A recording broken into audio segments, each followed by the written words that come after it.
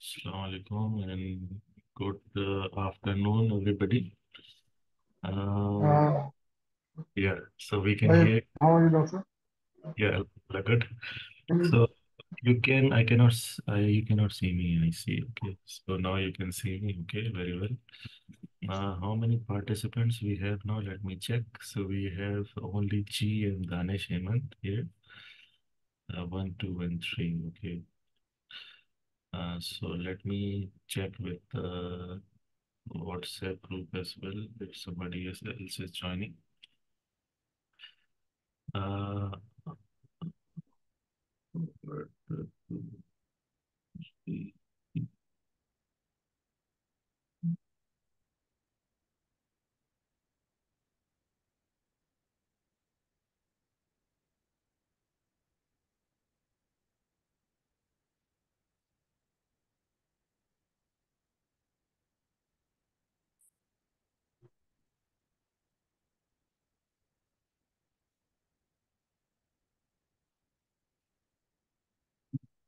I guess we don't have much, uh, uh, many participants. So we have got three people. So before we proceed, uh, mm, uh, Danish and Mr. Chi. So assignment number four will be from today's lecture. And uh, I have posted the assignment on Kalam. So if you go to Kalam, then you can see the assignment as well. Maybe I can share my screen as well. One person, multiple can share one person. Okay. So let me share my screen as well here. Uh.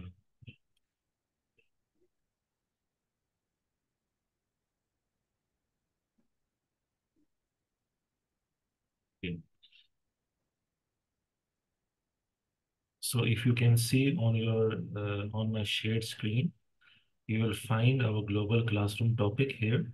And this is our poster for the global classroom. We have invited Dr. Arslan, Associate Professor from COMSAT University, Islamabad, is here with us. And he is going to be giving us a lecture on uh, tribological properties and tribological uh, fundamentals on tribology. Uh, these are the meeting codes. And then now you can see assignment number four. So if you open assignment number four, you'll find this file, assignment number four. So in this assignment number four, you have to follow Dr. Arslan lecture. And he is going to be discussing these topics in his lecture, one of some of these topics. So you have to go through his lecture and then you have to answer according to his slides or presentation. So I will cancel the previous assignment number four, which was related to the presentation. And I will be using this assignment number four as an alternative now, because Dr. Arslan is going to be doing the assessment for this lecture. So without further ado, I'm going to stop sharing the screen.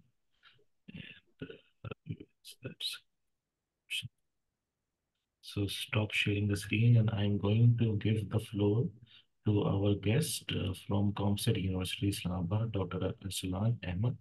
He was my colleague in University Malaya. His PhD is from University Malaya and he has uh, conducted uh, research on laser texturing of uh, diamond-like carbon coatings. So he is expert in the field of tribology, surface properties, laser processing, uh, manufacturing, etc. So without further ado, Dr. Arslan, I give the floor to you. Thank you. Uh, thank you. Moin, uh, for this um, uh, uh, opportunity. Uh, we are doing this for like, uh, I think we uh, did this, I think one year back too, and uh, on fluid mechanics related subject. And uh, it is it is a quite good opportunity to interact with students. While we were in the University Malaya, we used to interact, but uh, now uh, it has been uh, six years uh, since we did that. So uh, students, uh, welcome. Assalamu alaikum. And today's lecture is regarding tribology and as far as I know that in Malaysia and Pakistan, uh, there is not much awareness about tribology and involvement of tribology on in manufacturing why are we studying tribology subject, uh, tribology in manufacturing and why is it uh, relevant to manufacturing? So basically, uh, the wherever there are contacts between surfaces, uh, you have to understand the contact mechanics. You have to understand the contact condition, whether the surface is rough, whether the surface is uh, uh, smooth, what kind of roughness is there. Uh, you have to understand whether the whether while you are doing turning operation, while doing milling operation, uh, or while doing the uh, drilling operation, these are the basic operations. Uh, the the tool is in contact with the material, the work material, and while it is in contact with the work material, it is basically um, it is basically trying to remove material uh, by creating uh, by creating uh, due to due to friction between the tool and the workpiece, the material can be removed. Basically, that is why friction is good over here. So we will study why uh, manufacturing, why we are studying tribology uh, in a manufacturing course. And uh, as I, I, I, have been teaching the, my students manufacturing in Pakistan, advanced manufacturing systems and manufacturing processes. So um, uh, my students are also uh, uh, a bit hazy about why they are studying this this topic in manufacturing. So let's start and you will be able to understand why we are discussing this. I'll be sharing my slides. Uh, Doctor, can you allow the uh, screen sharing? Um, screen sharing, multiple participant can share advanced sharing options. All participants. And the host, host okay. has to allow, I think. Uh, okay, so can you check now? Okay.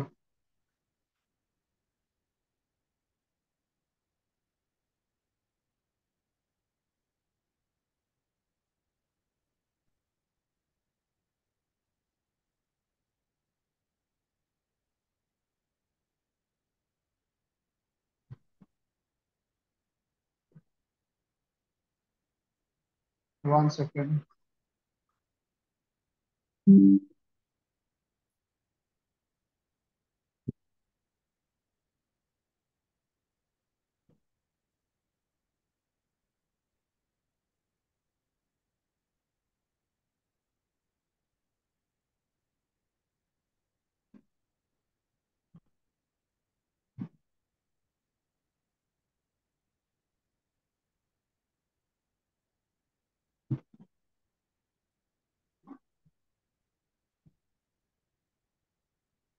Uh, can can everyone see? Uh, yes, we can see the. Okay, good.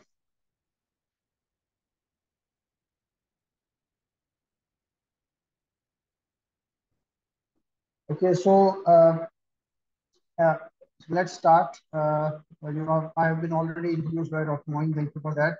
So, uh, what are the contents for today's lecture? We will be able, we will be uh, trying to understand, like, what is tribology, how it originated, how it became a field, and uh, why it is important for us to study that in manufacturing course.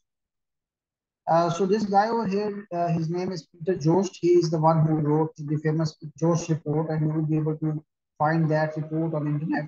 Uh, he presented it to the Queen uh, of UK, and uh, basically that report uh, was regarding that why is it important to understand that tribology, friction, and wear is very important in economic in in enhancing the GDP of United Kingdom.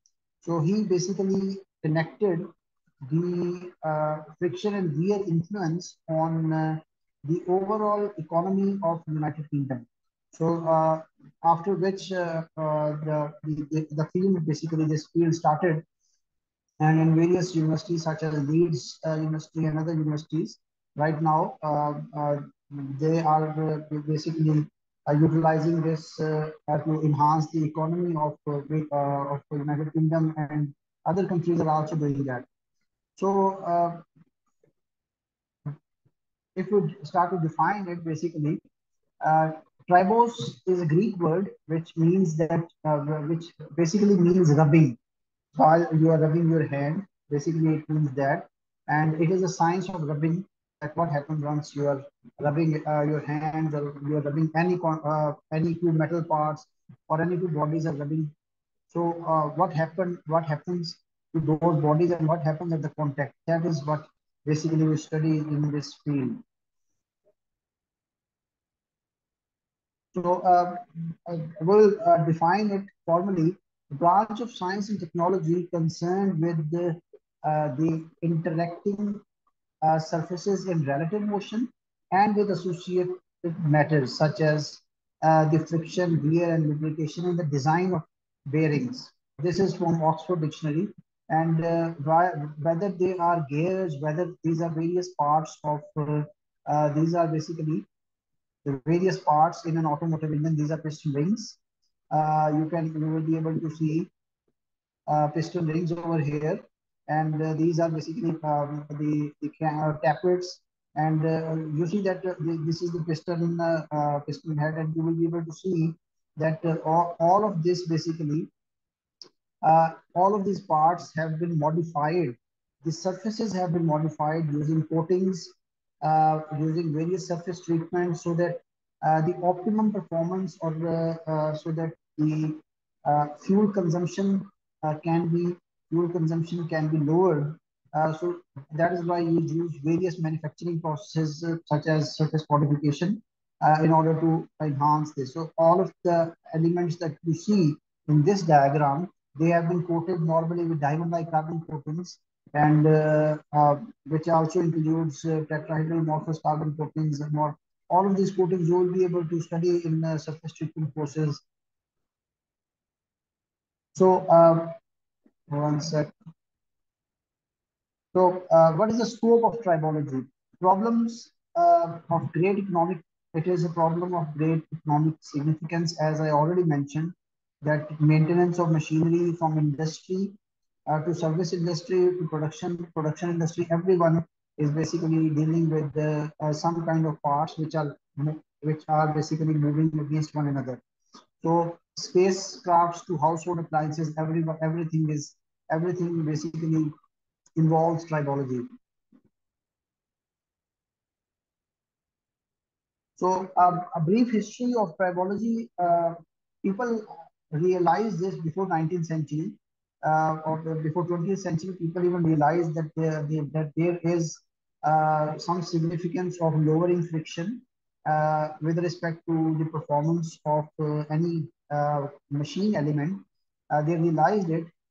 it was since like in transportation applications, wheels were used since 3500 BC for reducing friction associated with translatory motion. water lubricated sleds have been used uh, uh, to transport stone building blocks and monuments. Uh, like for example, Egyptians, this is this diagram is basically showing that all of these the the the, the these basically workers are using various kind of lubricants to move this huge monument.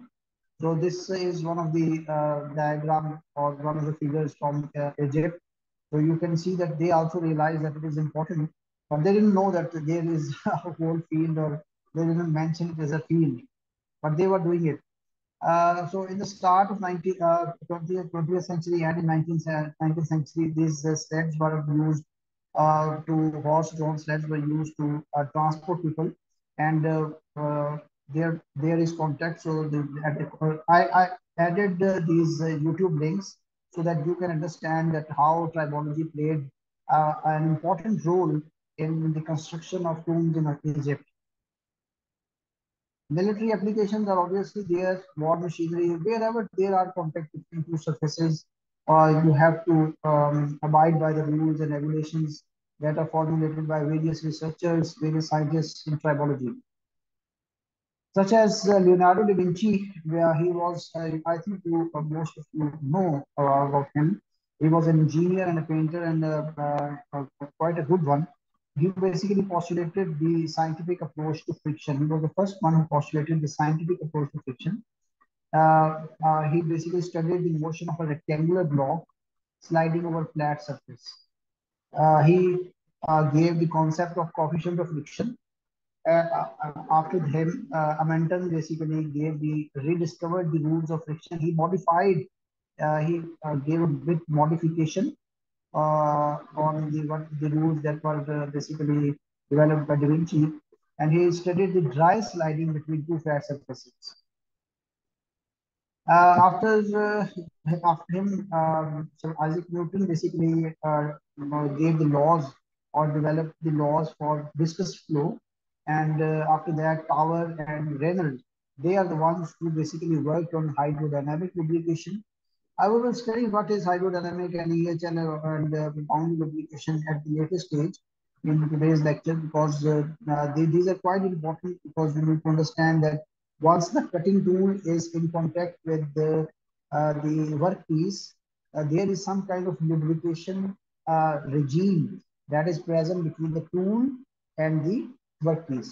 Uh, so we need to understand what kind of regimes can be present and how those regimes change from uh, boundary lubrication to hydrodynamic to elasto-hydrodynamic. We need to understand that.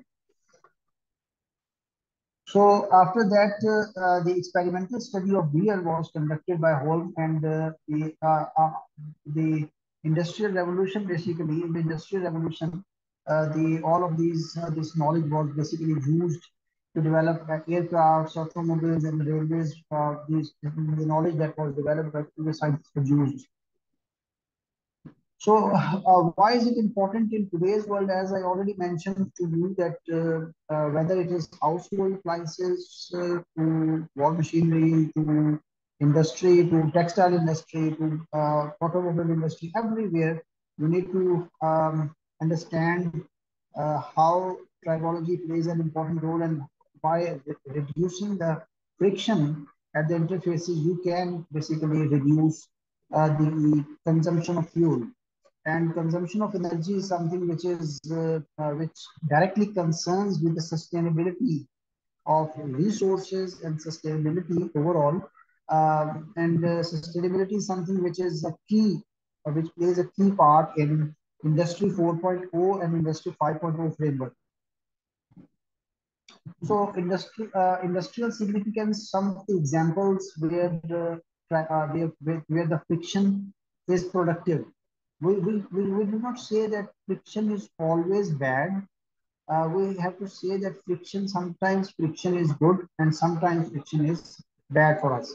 So uh, when uh, it plays a, a, positive role, such as in brakes, you have to use brakes so that you can uh, stop a car and uh, clutches, uh, driving wheels on trains and automobiles, bolts and nuts. Even we, we cannot even walk without friction between our uh, shoes and the uh, and the and the road or uh, any surface where we are moving. So there we need friction, and that is why we call it productive friction. So examples of productive wear. There is uh, wear is uh, not good in general when uh, we want to enhance the lifetime of components when we want to enhance the lifetime of automobile engines, uh, but it is good when we are writing with a pencil. Uh, it is productive and while we are writing with a pencil, the, it is some kind of a sacrificial relationship between pencil and the paper that pencil has to sacrifice itself so that we can, write. So that is why it is productive. Machining what we do in manufacturing we have to basically machine something or polish something or shape something. We need to wear uh, uh, wear is productive at that at that points. Examples of unproductive friction and wear. Internal combustion engines as i already mentioned gears and cams bearings and seals we, want to reduce friction and wear at these points so it is uh, as uh, uh, you can see, now we can see what is the actual significance of implementing tribology into various fields. So this is from the Jost report written in 1966. At that time, losses resulting from ignorance of tribology in United States 4% of its gross national product.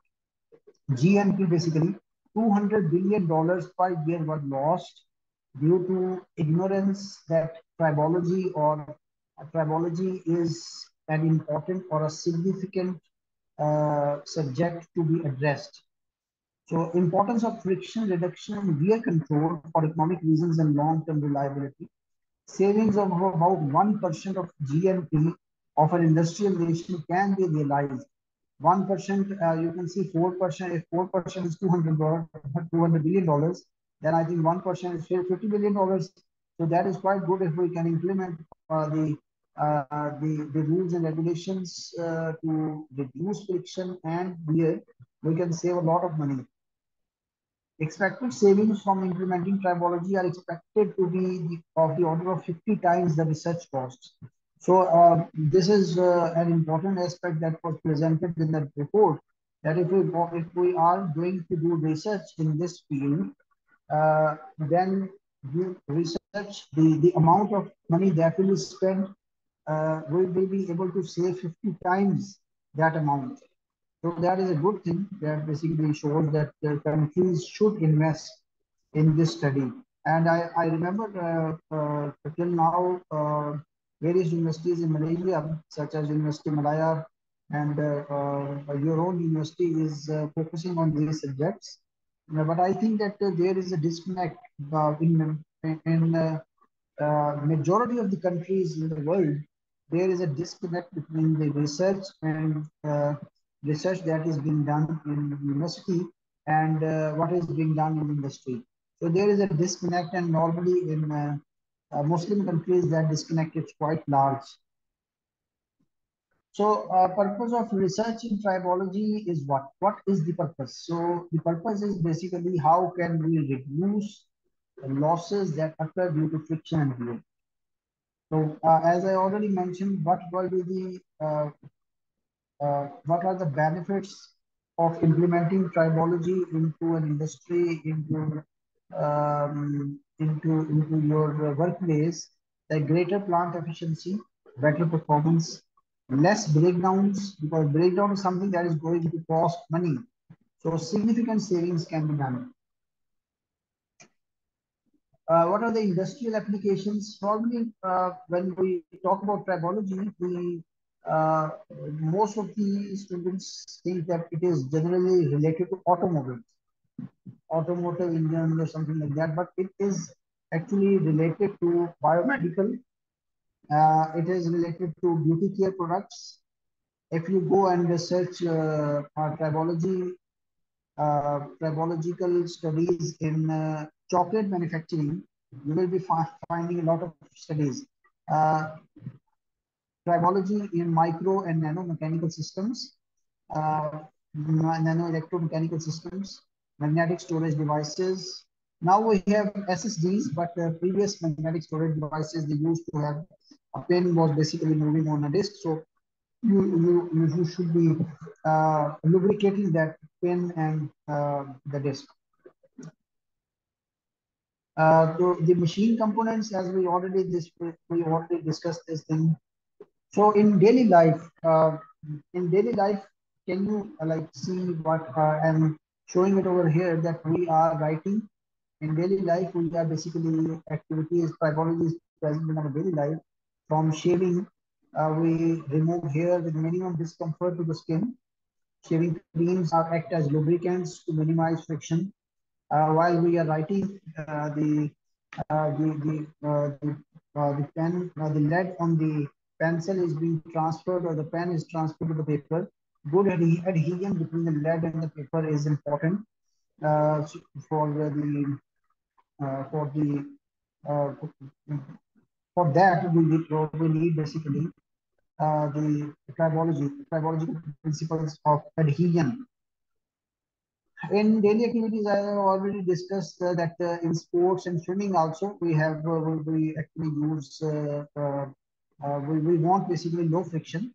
Uh, in swimming, we want low friction between the human skin and the, uh, the, the person who is swimming in the water. So that is how like you can win in the So this is an important, uh, this is an important example. This is where I took it from Wikipedia that uh, uh, you can go ahead and read it. And it is very interesting that uh, uh, some of the uh, some of the guidelines of Olympic Games, International Swimming Federation, basically FINA, they changed the guidelines for swim, uh, swimmers uh, suits that they wear because some of the suits were basically quite good and more than 130 swimming world records were broken from 2008 to 2009 through the use of high-tech swim, swimwear. Basically, if you modify, if you modify the swimsuits in such a way that the friction between the between water and the person that is swimming is less, then you can even uh, you can basically save seconds and while you are saving seconds, you can even win or you can even break records. So uh, after which FINA basically unanimously voted to regulate the use of these suits in official competitions. Uh, the banned suits uh, used in 2008-9 were only urethane based. So in 2015, uh, guidelines have specific measures to regulate the thickness, buoyancy, and permeability of the fabric. So it affects uh, everyday's life, this is an important example where you can win even competitions such as uh, in Olympic Games by implementing tribology. But uh, over here, you can see that it was basically too much. And uh, due to that, they have banned the usage. So this is another example where skiing, uh, skiing has been done. So uh, that, that was that is related to something between uh, the uh, the machine elements or the components that we use in daily life, but in our own, like in, uh, in uh, if we study our own body, uh, we will see that the body joints are basically by the wisdom of Allah or God, the these body joints are basically constantly lubricating, and due to that, basically they are uh, due, uh, due to this uh, this acid and the liquid, uh, you it over here, the surface layer of cartilage present in the joint provides the bearing surface and is lubricating with a joint fluid consisting, uh, consisting of lubricin, HA and liquid. So basically, uh, uh, in our joints, the lubrication is being provided so that the, the, for the smooth function of our own body. So this is an important example that it, it, the tribology does not only affect the machines around us, it also affects us. So we need to understand why we need to understand the body uh, tribology in body joints because we have to make uh, prosthetic arms, we need to make prosthetic legs. And for uh, that, for, for, we need to understand what is the what are the contact mechanics and how we can lubricate uh, the, the hip replacements are being done and uh, um, during war and other accidents, uh, limbs are lost. So how can we design a limbs that can basically survive for longer time period? So uh, tribological systems or tribosystems comprised of basically interacting surfaces.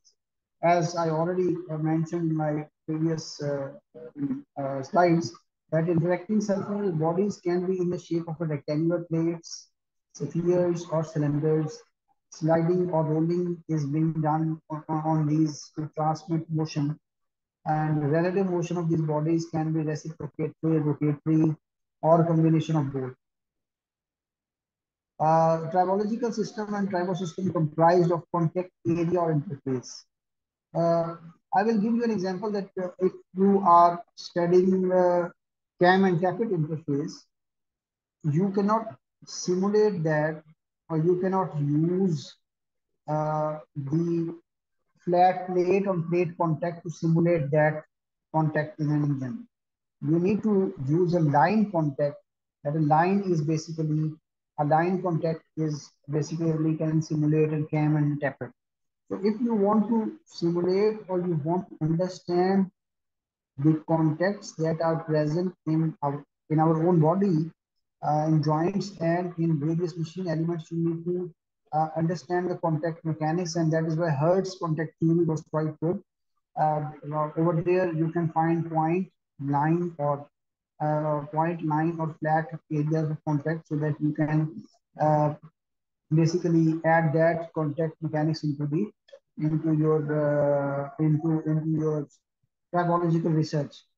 So uh, if the there is either a line or area in case of cylindrical body, depending upon its orientation. So this is how like we, we basically simulate in various uh, environments. Uh, if uh, the if the uh, if for example in cam and uh, tappet, in, in for example piston and cylinder, there the type of contact is normally flat. Normally we can simulate it by flat and flat contact. And for that, this type of example, this this is a good example for that that you can uh, simulate that. And over here, you can see that the, this, this is a line contact and uh, uh, this cylinder is basically making a line on this, uh, uh, on this, uh, on this, what we call disc. And over here, you can see a point contact. This is a point contact and those elements, machine elements where, where, where the bodies are in contact, but they make a point contact there you can simulate it by using this kind of uh, reciprocate uh, by using this kind of uh, uh, tribotesters because there are uh, there are basically various kind of tribotesters. For example, if you want to simulate uh, uh, a, a, cutting tool, which is basically cutting, um, for example, I, I will say that a hardened um, tool, steel tool is basically cutting aluminium so you have to see that the rate, what kind of the chips are chips are making uh, the making uh, chips are coming in contact with the tool. So you have to understand what kind of contact the chips are making with the tool, and you need to simulate that on on uh, a tribological uh, tester, which uh, can be of various types. So these are all the various types that you can use in order to understand what type of contacts are present in various machines. Okay, so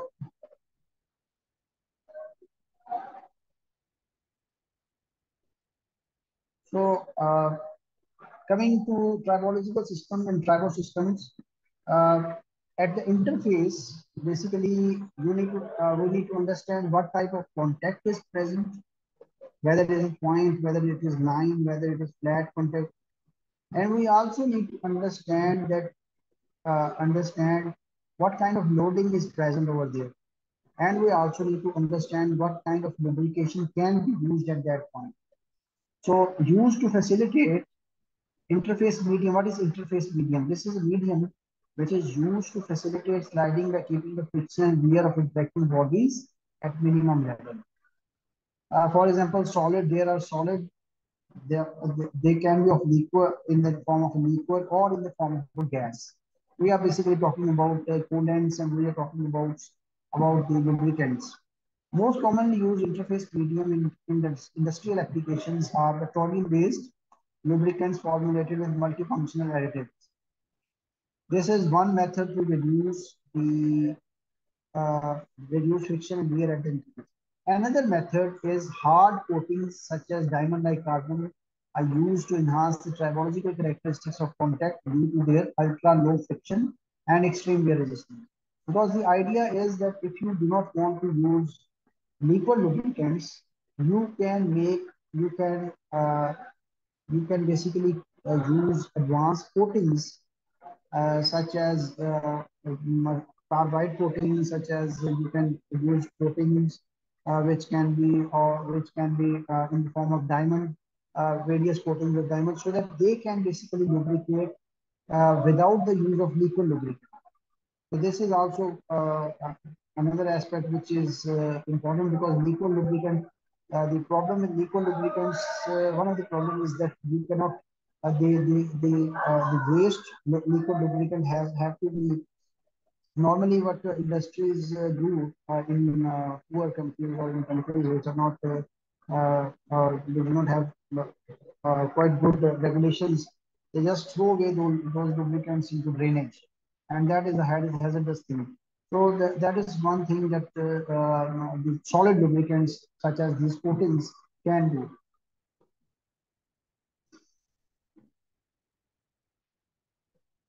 So uh, tribological systems or tribosystems, uh, uh, uh, another uh, important aspect is what is the operating condition at, uh, at the contact.